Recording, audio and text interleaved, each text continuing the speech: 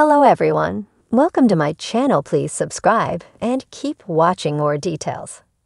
Springfield native competing on American Idol. BGGB slash WSHM. American Idol has returned for another season. And this year, one Springfield native will be taking a shot at going to Hollywood.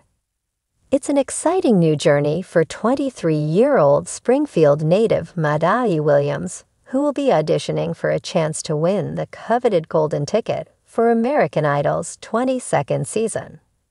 It's an opportunity she has been really looking forward to considering singing has always been a big part of her life.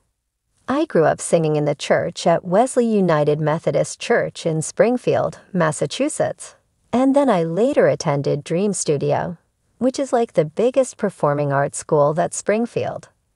So they definitely had got me ready since the age of five, and I was like, okay, this is what I want to do, and they believed in me, Williams said. Now she's ready for a bigger stage. It's something that I've always dreamed of. I didn't know it was going to be like this, but I'm ready to showcase myself to the world.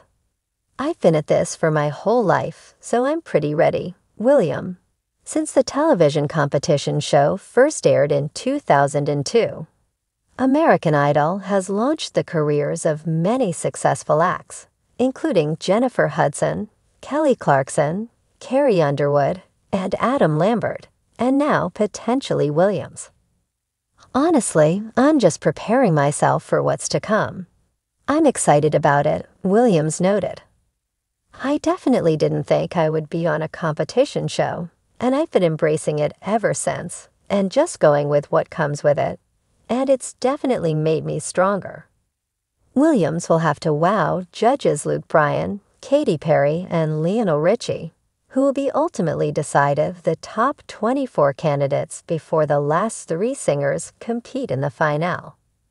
She shared how she plans to stand out from the crowd, really expressing myself in all genres of music. So on the show, I am definitely tapping into a rock bag, a emo, a pop bag, definitely something that's not expected.